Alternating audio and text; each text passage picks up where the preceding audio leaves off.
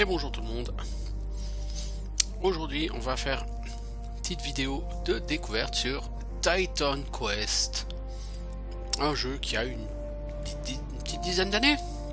C'est un hack and slash ultra classique. Et pour moi, avec Diablo 2, Path of Exile et euh, Grim Dawn, ce sont les meilleurs hack and slash auxquels j'ai joué. Les plus prenants, les plus sympas. Je vais mettre comme Divine Divinity de côté, parce que c'est pas un pur hack and slash. Là, on est vraiment dans quelque chose de plus classique, avec euh, euh, une linéarité qui est assez classique, j'ai envie de dire, sur le hack and slash. Alors, donc Titan Quest, jouer. Donc j'ai déjà des personnages, hein. j'ai un personnage niveau 61, j'ai quelques personnages bas niveau parce que je fais des tests. On va créer un nouveau personnage. Ma foi, on va l'appeler, je sais pas moi, Valandril, allez. J'espère que j'ai pas déjà pris ce nom-là. Ce sera un homme. Voilà. la création de personnage est un peu plus simple. Voilà, vous choisissez le nom et euh, le sexe. Et c'est tout. Et on va commencer.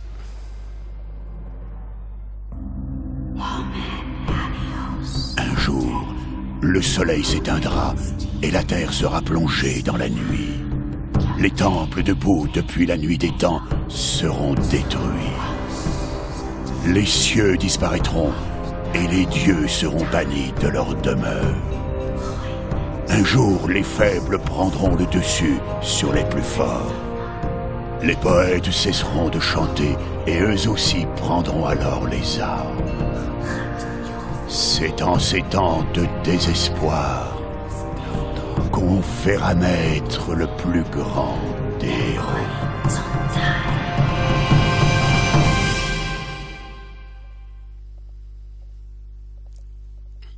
Voilà une introduction fort charmante. Temps de désespoir où tout le monde va se battre. Eh bien, eh bien, eh bien, ma foi, alors que si on, commence là, notre personnage euh, il est au bord de l'eau. Titan Quest, c'est un hack and slash qui se passe dans le monde antique, qui va allègrement euh, laisser place aux anachronismes, mais on s'en fiche, on n'est pas là pour faire un documentaire historique. Donc Titan Quest commence en Grèce.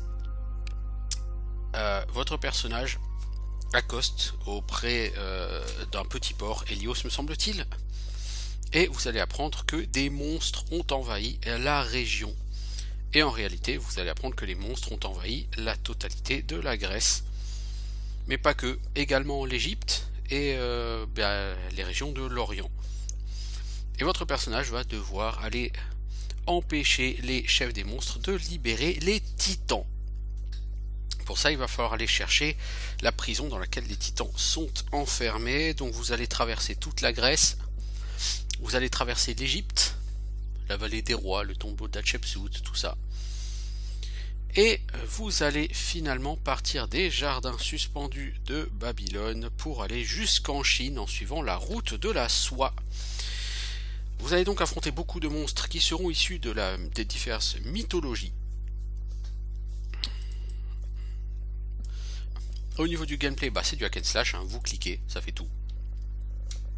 Vous notez que je n'ai pas choisi de classe. C'est normal, je suis niveau 1, je suis un pauvre pécor.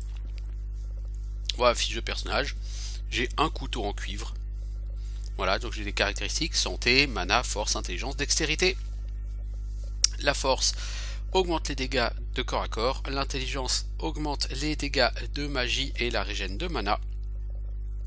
La dextérité augmente les chances de toucher, les chances d'esquiver et les dégâts des stocks. Donc les dégâts des stocks, ce sont toutes les armes euh, typées stock, donc les lances, les arcs, enfin tout, tout, ce qui euh, va transpercer d'une certaine façon. Au niveau des compétences, des skills. Pour l'instant, les fenêtres sont grisées, donc je ne peux pas vous les montrer, mais ça va arriver assez vite. Salut Timaeus, que veux-tu? Là, dans les champs, ils vont tuer ton cheval. Oh mon dieu, oh mon dieu, ils ont tué Kenny. Alors, on a un sanglier. Et là, on a des satyres. On va taper les satyres. Donc là, j'ai mis le son un peu bas, du coup, on n'entend rien du tout. À la baston. On va looter. Cuirasse en cuir, javelot. Alors là, cuirasse en cuir.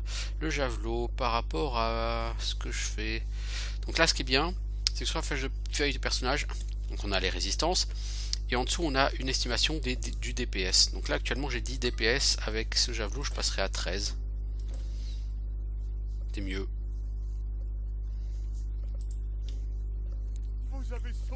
J'ai sauvé ta jument. Ouais, je sais, je sais, je suis un héros, mec. Et tout en bas, vous avez la barre d'XP avec au-dessus les emplacements de skill, les emplacements donc de skill clic gauche, clic droit et euh, le menu. Donc là, on va continuer, hein, puisque le principe c'est ça. Et on a des satyres qui attaquent la ville. Donc on va aider les gardes de la ville à se défendre. Voilà. Je vais regarder juste au niveau du son. Options audio. Pourtant les effets sonores sont à bloc en musique en truc. Je vais essayer de baisser tout le reste. On va voir.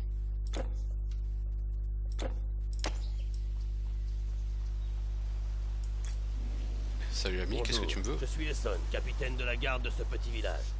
Nous résistons, mais à quoi bon? Si les monstres détruisent nos fermes, nous serons perdus. Tout est la faute de ce maudit chaman. Diomède s'arrache les cheveux à essayer de le combattre. Ben, allons le combattre ce chaman.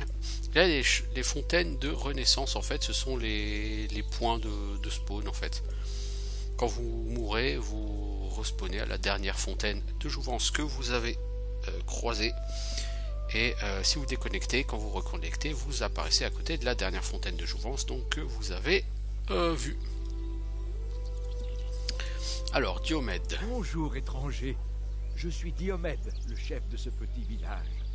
Vous dites vous être battu pour arriver jusqu'ici Si cela est vrai, alors je vous en prie, nous avons besoin de votre aide. Des monstres, dirigés par un puissant chaman satyre, sont apparus il y a quelques jours et nous ont chassés de nos fermes. Nous avons à peine de quoi défendre les portes du village. Et personne ne peut les empêcher de détruire nos récoltes. D'accord, donc il faut aller tuer le chaman qui vous a expulsé de vos fermes. Ok. Ils sont des PNJ classiques. Tu dois bien te préparer. En marchant, ici, la zone de stockage. Par là, on a le waypoint, bah, classique, vous avez joué à Diablo 2, hein, donc euh, voilà. Alors, est-ce qu'on a un aperçu sur les autres zones? Non, pas encore. On a de l'aide. Alors vous noterez que l'interface est, pour ceux qui ont joué à, à Grimdawn, l'interface est étrangement similaire. C'est normal, les gens qui ont fait Grimdawn sont les gens qui ont fait Titan Quest. Et Grimdawn n'est qu'un Titan Quest euh, entre guillemets amélioré.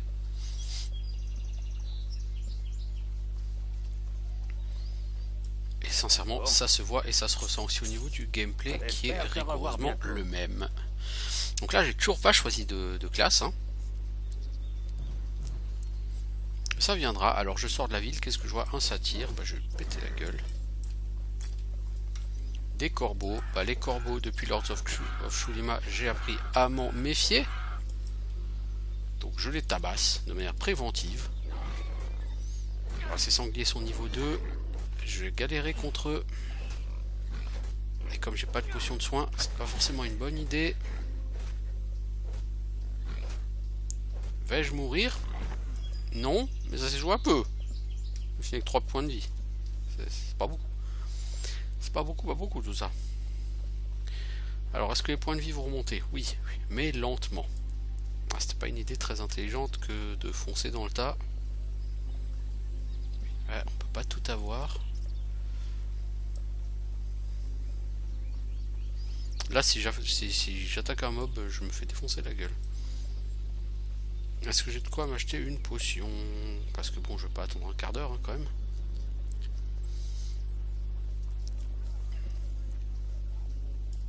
Autre chose Coup 120. Ouais, ça va, je peux m'en acheter deux même. À la la prochaine. Donc les potions ne rendent pas de la vie instantanément, hein, c'est euh, de la vie sur la durée.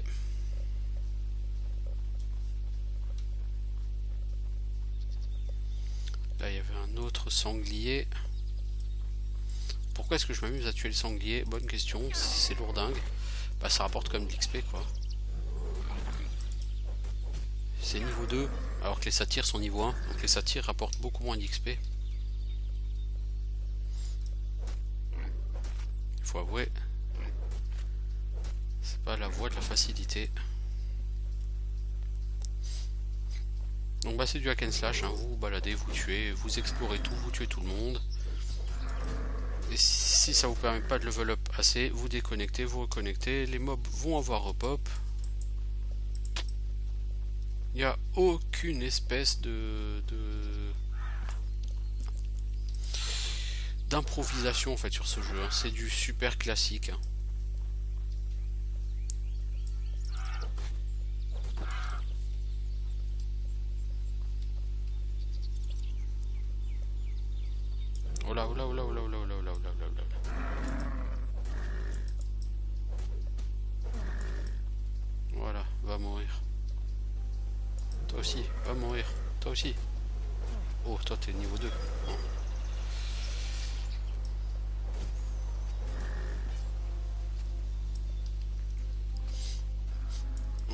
Level up pour pas avoir à prendre ma potion.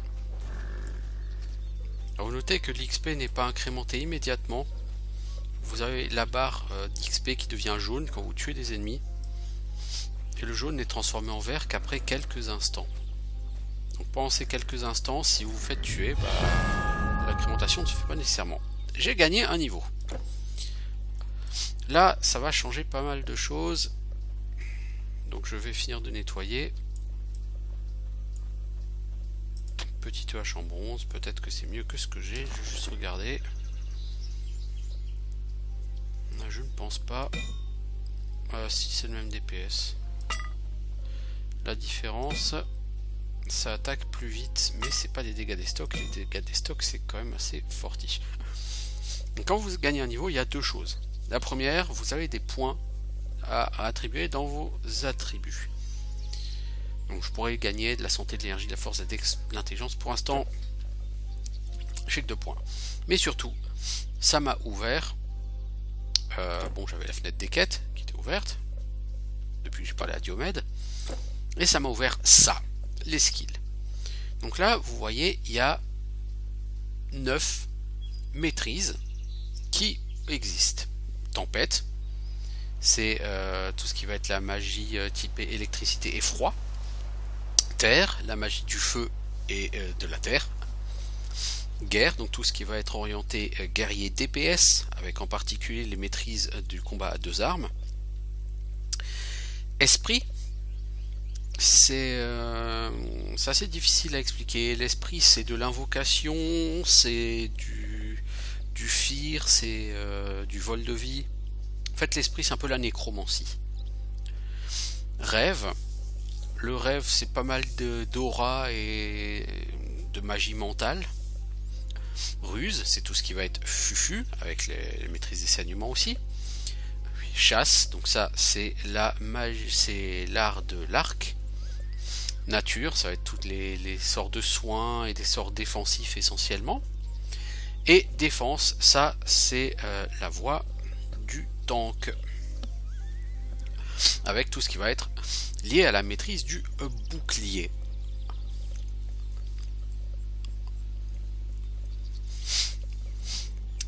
Esprit, c'est pas mal si vous jouez corps à corps.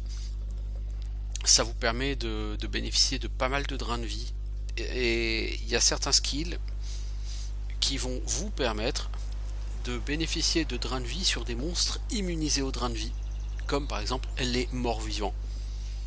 Avec du drain de vie de base, bah, vous ne drainerez rien sur les morts vivants.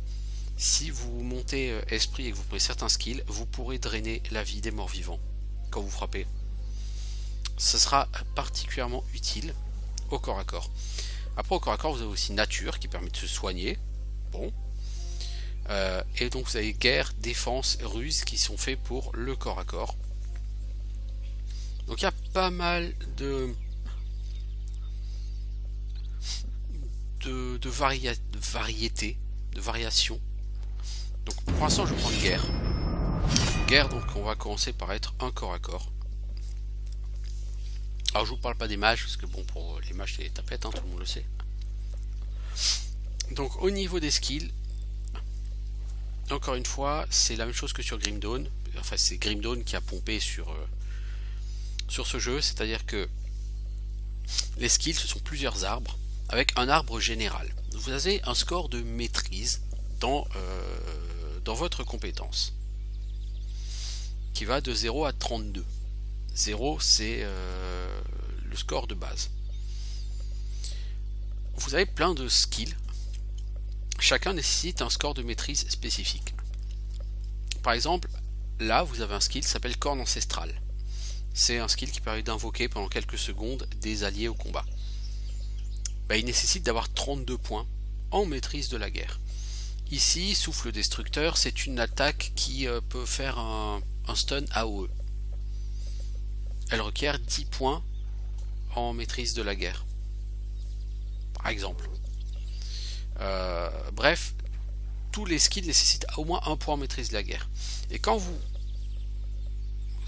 quand vous mettez un point en maîtrise, vous gagnez non seulement la possibilité d'utiliser des skills, euh, mais euh, vous gagnez également des points de caractéristiques.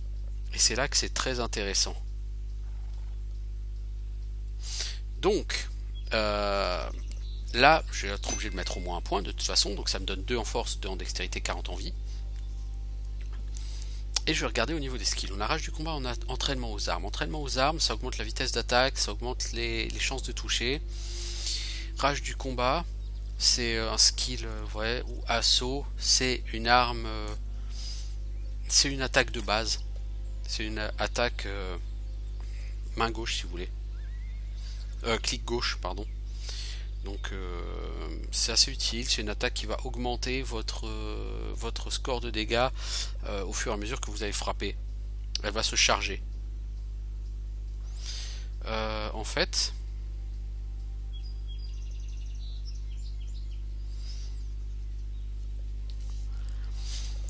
hum, hum, hum. alors, J'hésite, j'hésite. Euh, ouais, je vais quand même prendre un point en maîtrise. Augmenter les maîtrises, ça augmente les stats. Et augmenter les stats, c'est très très très sympathique. Alors ici, je vais prendre assaut. Ça, je vais me battre avec ce skill. Donc, vous voyez une petite aura autour de mon personnage. Et donc cette aura, pour l'instant je peux, je peux avoir qu'une seule charge. Donc quand je frappe, ça met une charge. Cette charge juste quelques secondes, 2 hein, ou 3 secondes, hein, pas plus. Et euh, bah, pendant ce laps de temps, j'ai un petit bonus aux dégâts.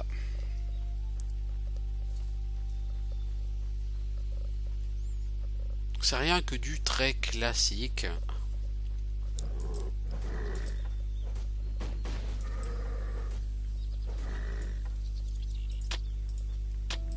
Alors il y a des coffres comme dans tous les bons hack and slash bourré de potions de santé, parce que sur ce jeu, vous allez en bouffer de la potion de santé.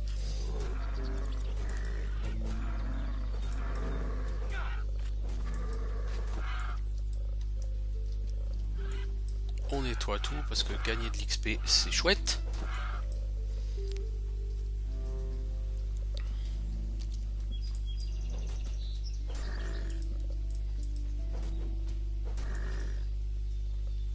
Tuer des sangliers c'est relou parce que sanglier ça a beaucoup de vie, mais c'est chouette quand même pour l'XP.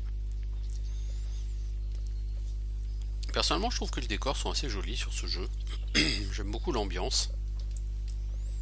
Eh, revenez les gars Oloté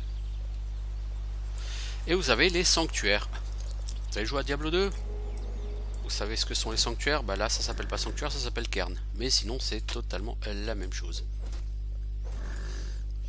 vous avez des sanctuaires de vie, des sanctuaires de mana, des sanctuaires d'XP, euh, des sanctuaires de puissance d'attaque, euh, enfin bref. Euh. encore une fois, vous avez joué à Diablo 2, voilà, vous, savez faire. Oh, là il y a le chaman. Lui c'est pas mon pote le chaman. C'est un caster et au départ, comme on a zéro résistance, les casters, il vaut mieux les éviter. Je bouffais le cairn de guérison, j'aurais dû le conserver. Bon, on a quoi? On a un cairn de régénération. Ah, c'est cool. Utile ça. Donc lui, il va me défoncer la gueule, littéralement.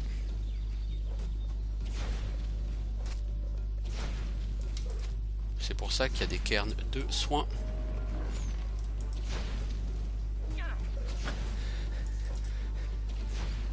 Oh là, oh là, oh là, oh là, oh oh là, ouais, zen le gars là.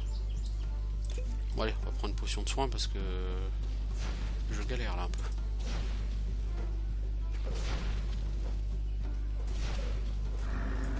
Voilà, j'ai tué le mob de quête. Il me donne un bâton desséché. Il me donne plein de stuff. du coup, euh, bah cette étole simple est mieux que mon armure de cuir. C'est un peu bizarre, mais bon voilà. J'ai une autre armure de cuir qui est un peu mieux. Bon, la régénération de mana, c'est sympa, mais pour moi, c'est pas le plus utile. Euh, ça, les choses simples, il faut de l'intelligence. Ok, bah, je suis trop con, désolé.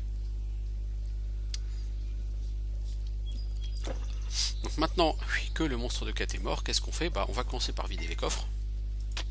Je suis pas plus con qu'un autre. ne hein. plus rien porter. Ah, t'es full. C'est triste.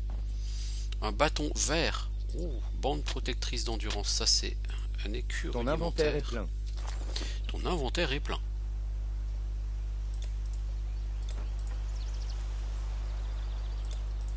Alors, on va prendre l'écu et on va prendre le bâton. Tu ne peux rien porter d'autre. Alors, ce bâton desséché, alors il faut être niveau 8 pour l'utiliser, je compte pas monter niveau 8 avec ce perso. Cet écu, il faut être niveau 3, et il est excellent. Ça dit, je ne vais pas utiliser des boucliers longtemps, hein, puisque euh, à terme, je vise euh, le combat à deux armes. Le combat à deux armes, puis c'est là, double maniement. Il faut avoir au moins deux points supplémentaires, donc il faut avoir au moins 4 en euh, maîtrise euh, de la guerre. Donc ce sera de toute façon pas pour tout de suite.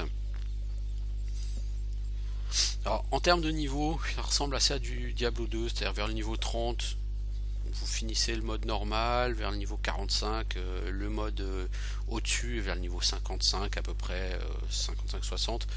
Euh, le niveau euh, ultime. C'est un jeu qui a clairement ses références, qui ne s'en cache pas vraiment hein, d'ailleurs. C'est un jeu qui avant tout vise l'efficacité.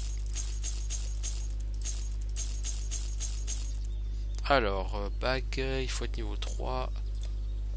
Très bien cette bague. Au revoir. On va la garder. Il n'y a pas de durabilité sur les objets. Hein. Donc il n'y a pas de réparation à faire. Vous avez vaincu le puissant chaman Oui, j'ai vaincu le puissant chaman. Je sais, je suis une brute. Alors, lui de, me, dit que son village a besoin d'aide. Il faut aller trouver le général spartiate Léonidas pour lui demander de l'aide. Donc on va partir chercher El Léonidas, donc en partant par la sortie sud. Sauf que on va croiser un jeune homme qui a une quête à nous donner. Eh, gars. Nous ramenions nos troupeaux à la maison quand un groupe de satyres nous a attaqués. Par les dieux, ils ont saisi Télis et l'ont entraîné dans une grotte près de la route. Les routes ne sont plus sûres. il faudra aller trouver le fameux Télis.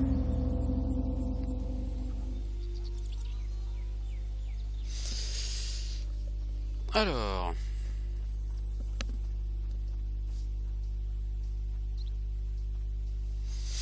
Nous, on va se balader dans la nature et on va chasser du satyre. Ou du sanglier, si c'est du sanglier. Hein.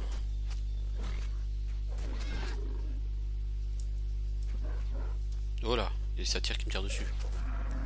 J'ai vu vos flèches, les gars, vous n'êtes pas assez discrets. Vous êtes surtout pas assez efficaces.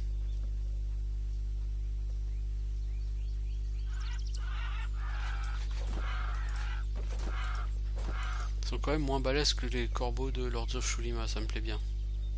Ça c'est quoi? Un cairn de maîtrise. Ça, ça augmente temporairement le niveau de mes skills.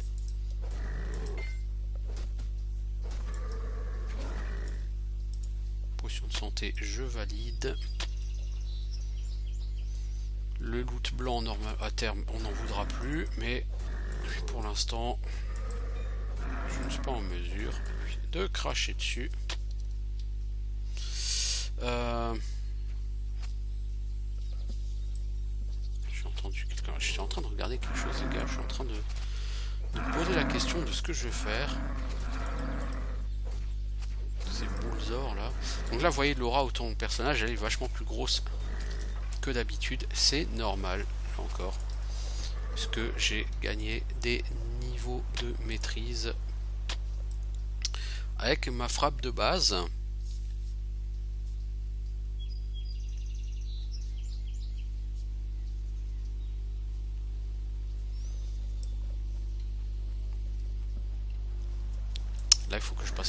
Pour éviter d'avoir à claquer des potions de soins. Ça serait bien.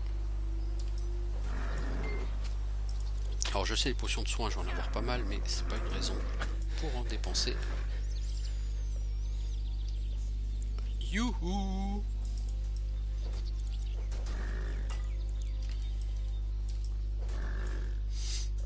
Alors si vous voulez, les mobs peuvent même looter énormément, enfin dropper énormément de stuff gris.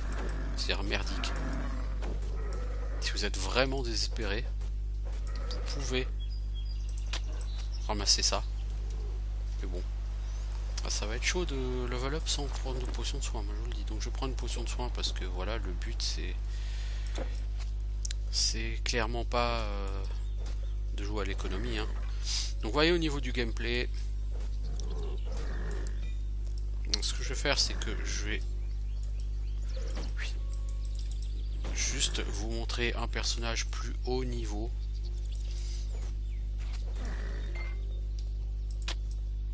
Donc ça c'est euh, vraiment du, hack and slash classique. Après ce que j'ai pas le temps de vous montrer sur cette vidéo, c'est que euh, arrivé vers le niveau, je sais plus, 5, 7, 8, quelque chose comme ça, eh bien vous, on vous demandera de choisir une deuxième classe.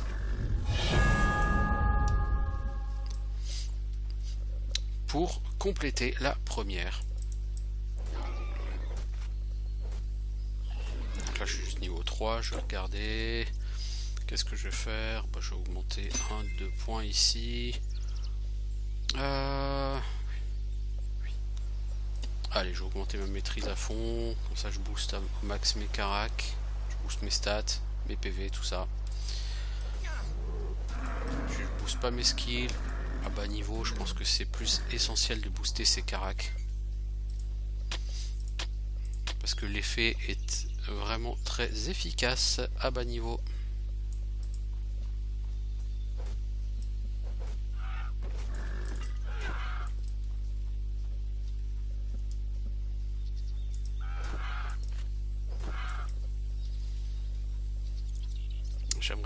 Atteindre, si possible, je vais essayer de rusher le, euh, le point de spawn suivant.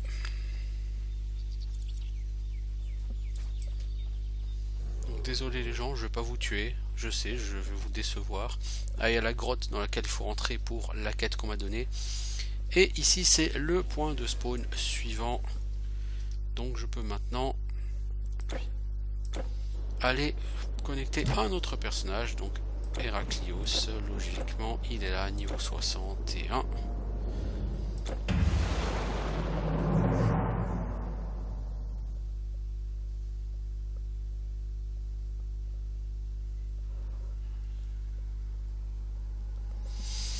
Donc, ici,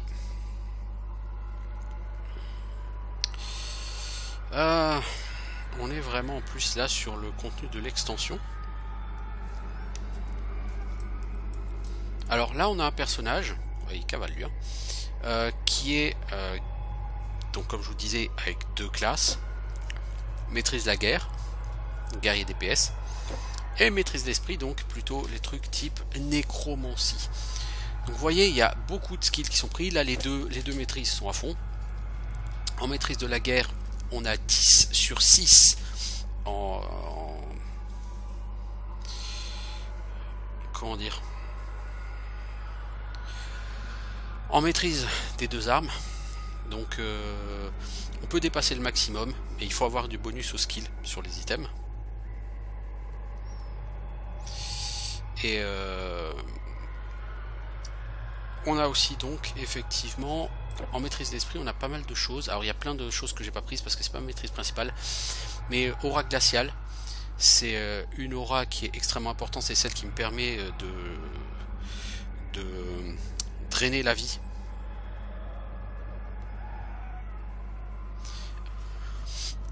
En particulier, euh, c'est où?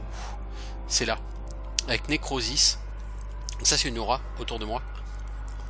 Avec Necrosis, tous les ennemis qui sont dans l'aura ont une baisse de résistance à l'absorption de vie de 119%. Or, tous les monstres qui sont immunisés, c'est qu'ils ont 100% de résistance. Donc les monstres qui ont 100% de résistance à l'absorption de vie, quand ils approchent de moi, ils passent à moins 19% de résistance à l'absorption de vie. C'est-à-dire que non seulement ils sont sensibles à l'absorption de vie, mais en plus, euh, j'absorbe 19% de plus que ce que j'absorberais en temps normal. Et surtout, ce que je vais chercher, c'est absorption de vie. Voilà, ça, ça me permet de voler de la vie. Et invocation du roi spectre. Alors, invocation du roi spectre, ça c'est un pet, et c'est un pet qui est ultra puissant.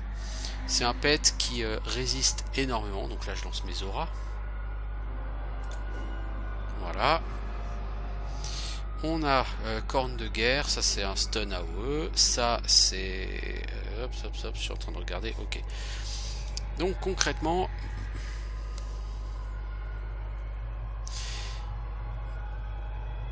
Euh, concrètement, donc on va essayer d'avancer, on va vous le montrer, ce que ça donne.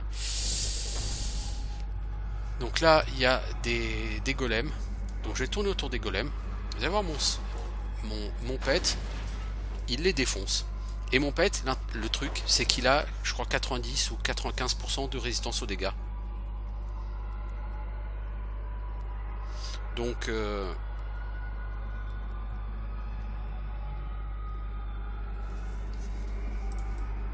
voilà, mon pet, j'aime bien. Il est très efficace celui-là. Faire très attention à certains mobs qui vraiment font des AOE qui piquent. Donc on va courir. On va essayer de voir un petit peu ce qu'on a. Alors effectivement, ce personnage est quand même particulièrement rapide. Donc bon, on va tout le, loot blanc, je vais le laisser. Et vous voyez que on tue quand même très très vite. Par contre, on meurt aussi très très vite. Et quand, mais quand vous êtes en difficulté, un petit coup de drain de vie, c'est un skill AOE qui, fait des dégâts, qui draine la vie. Là je suis stun, c'est pas cool parce que je prends comme super cher.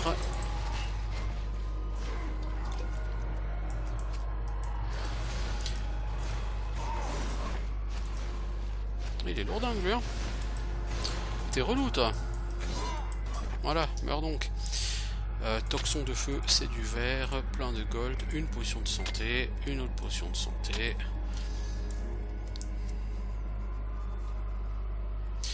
Donc, euh, vous voyez, ça, tape, ça tape vite, hein, mais...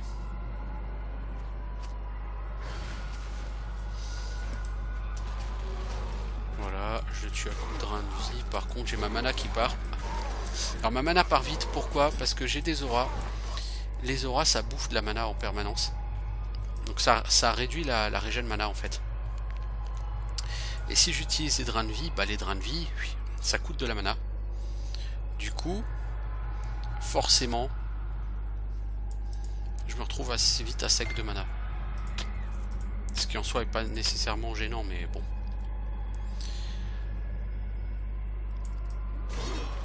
C'est surtout que mon coup de base coûte de la mana aussi.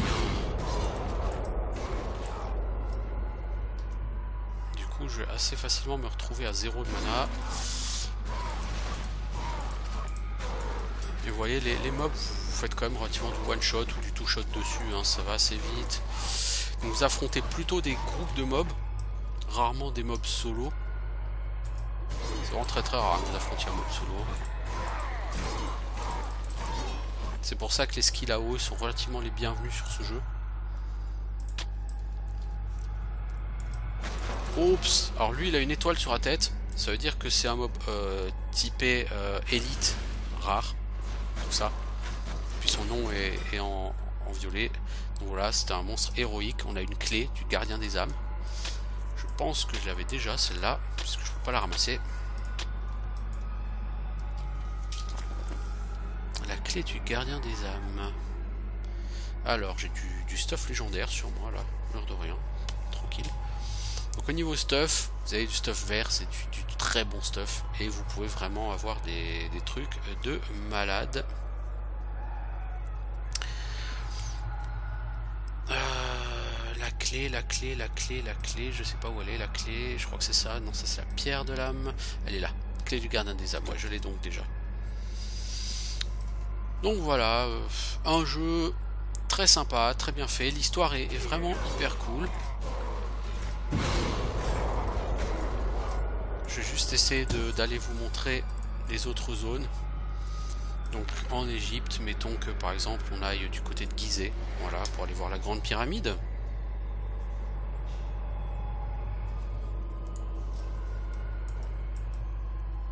Donc après la Grèce, vous irez en Égypte. Et l'Égypte, je trouve que c'est très joli, c'est bien fait. Bon, les monstres sont... Voilà. Là, je suis largement plus haut niveau que les mobs. Hein. Je suis sur le niveau de difficulté logiquement le plus élevé.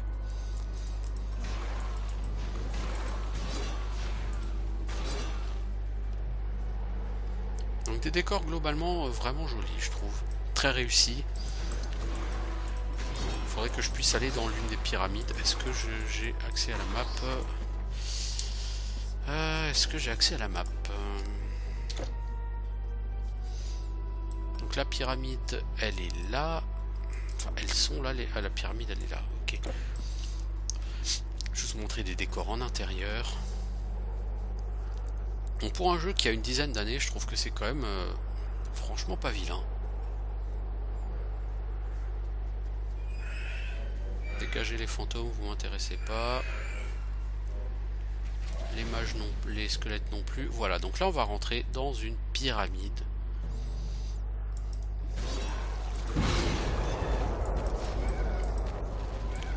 De Khéops, la grande pyramide.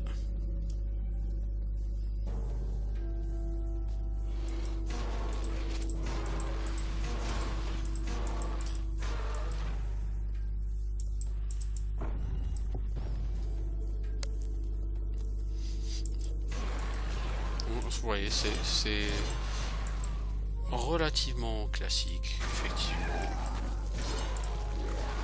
Et moi je m'amuse beaucoup sur ce jeu, j'ai passé beaucoup beaucoup de temps. C'est vraiment du, gros massacre hein, euh, sur ce jeu. Hein. Il y avait une statistique que j'avais bien regardée. Ah mais il y a les espèces de pylônes qui créent des squelettes, là si je détruis pas les pylônes ça va pas aller.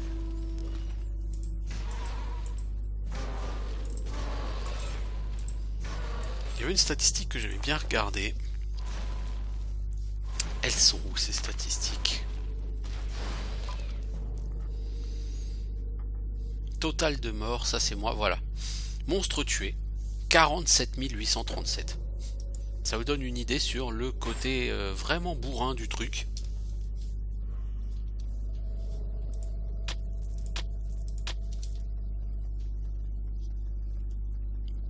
Mais même si c'est bourrin, c'est assez fun. Vous tuez très vite, vous avez pas mal de capacités AOE. Vous pouvez faire des mix de classes qui sont très intéressants. Là, en fait, mes deux classes se combinent parfaitement. Donc, il y en a une qui permet de frapper fort et l'autre, quand vous frappez, bah, vous régénérez une partie de vos dégâts, soit forme de vie et de mana. Du coup, bah, vous avez intérêt à taper fort et vite. Et justement, euh, bah, comme mon premier skill me fait taper fort et vite. T'es qui toi? T'étais un héros? Ça s'est pas vu.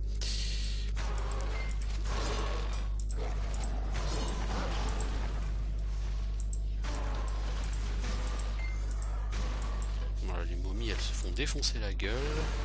On va ouvrir les sarcophages parce que... Voilà, donc ça, c'était encore... Ça, c'était autre chose.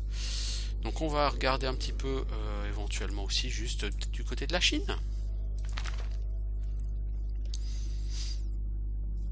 La muraille de Chine, mais pas bien sûr.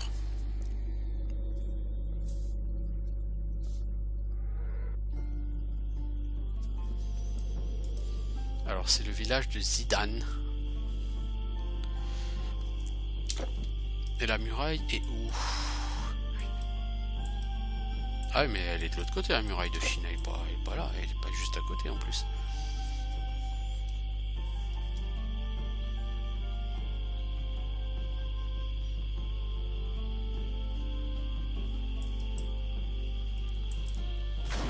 La muraille de Chine, elle est envahie par des monstres qui sont des hommes euh, tigres, je pense.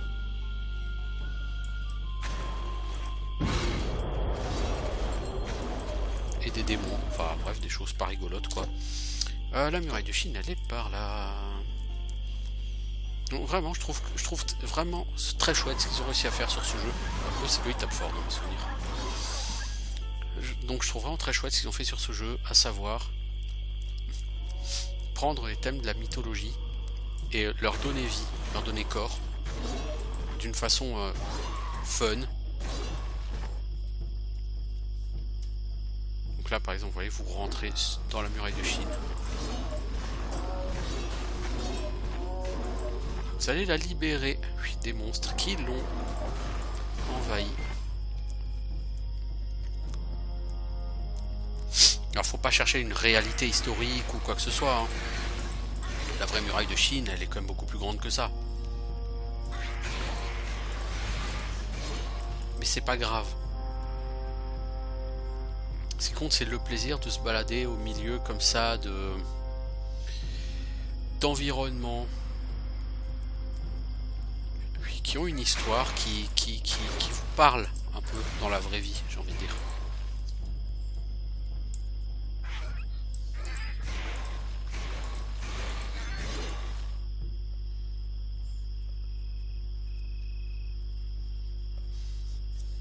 Donc voilà, c'était juste pour montrer un bon petit hack and slash, très bien réalisé, très bien pensé. Euh, Voilà, que dire de plus? Personnellement, je vous le recommande. Pour moi, c'est une très très franche réussite, ce jeu. Euh, vous avez des options de personnalisation du stuff, je n'en ai pas parlé, mais euh, ici, vous voyez, j'ai beaucoup de petits carrés comme ça, qui sont ce qu'on appelle des reliques. Les reliques sont des objets donc d'amélioration du stuff. Par exemple, cette relique, l'incarnation de la puissance d'Héraclès. Si vous l'utilisez sur euh, une pièce d'armure, ça vous donne plus 24 en force. Et, euh, et les reliques, donc, vous, les, vous chopez par morceaux. C'est-à-dire que certains monstres vont dropper un morceau. Par exemple, là, j'ai. euh, je l'ai encore. Là, mettons, j'ai deux morceaux de personnification de la corde d'Arc d'Artémis. Il en faut trois pour avoir la relique. Bon. Donc, il faut grinder des mobs pour avoir les morceaux de reliques que vous voulez. Et après, bah, vous pouvez euh, améliorer votre stuff, sachant que deux morceaux de reliques différents n'auront pas les mêmes bonus. Par exemple, pour Héraclès, j'en ai un là qui donne en bonus secondaire plus 5% de force, et là, 58 de réduction de l'armure euh, des ennemis que j'attaque pendant 3 secondes.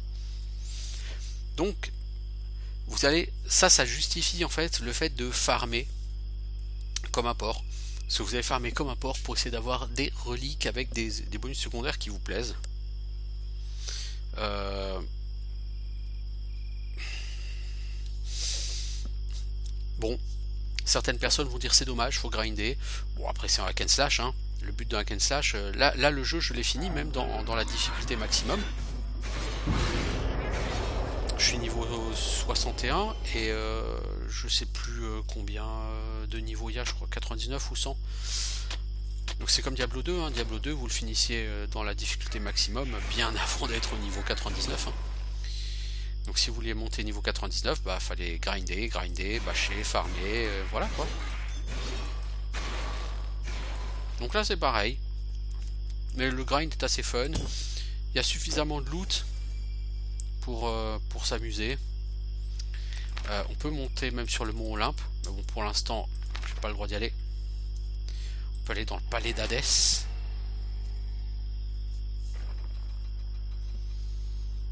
Palais d'Hadès. Ça c'est vrai, bah, c'est là que j'étais hein, de toute façon tout à l'heure, le palais d'Hadès. Euh, vous pouvez donc farmer Hadès, euh, qui est le boss final de l'extension. Puisque évidemment, vous allez devoir faire la course contre les titans.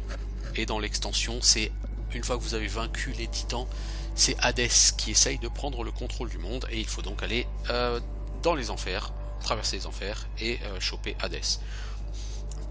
Donc vraiment, si vous aimez la mythologie, si vous aimez les bons hack and slash, si vous aimez les jeux nerveux, fun, sympa, eh ben vous aimerez Titan Quest, jetez-y un oeil. Et si vous aimez Titan Quest, vous aimerez aussi Grim Dawn, hein, par la même, puisque c'est vraiment Grim Dawn, c'est Titan Quest euh, avec quelques petits ajouts. Donc voilà, un jeu que je vous recommande chaudement. Et je vous dis à bientôt pour un autre jeu. Ciao les gens.